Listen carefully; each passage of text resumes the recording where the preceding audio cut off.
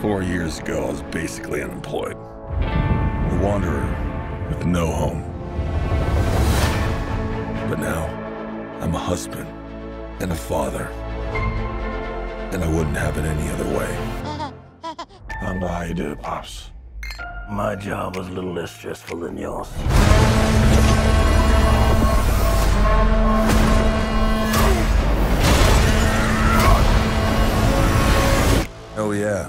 I finally got a job. I'm the king of Atlantis. Half a billion people from every known species in the sea call this place home. But that doesn't mean they all like me. I'm gonna kill Aquaman and destroy everything he holds dear.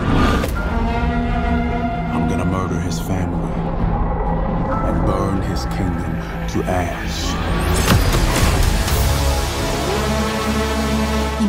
Stopped, or a global meltdown is imminent.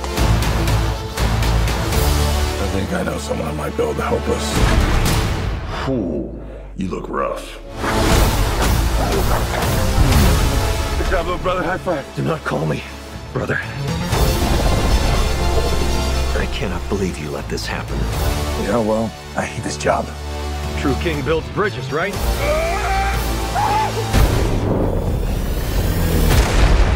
True king builds bridges. We need to find Manta. He's different now. He's stronger than before. It's the Black Trident. During King Atlan's time, there were seven kingdoms. And the Trident was a curse upon them all. The Trident's dark magic is spreading. He means to end the bloodline.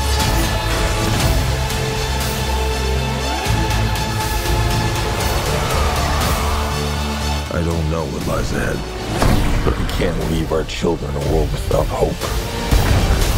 You're not as bad at this as you think. If you lead, the seven kingdoms will follow.